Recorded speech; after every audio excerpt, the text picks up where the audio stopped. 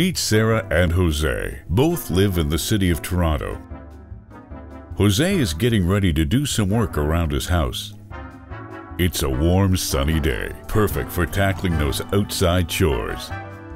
Sarah's ready to enjoy the day. She's taking her dog for a walk. Uh-oh, look at Jose. He's about to put his ladder up. Sarah catches his attention just in time. The overhead power lines are right above his head. He needs to stay at least three meters away to be safe. Jose decides to put that chore on hold and tackle his overgrown trees. Sarah points out that the power lines are running through the trees.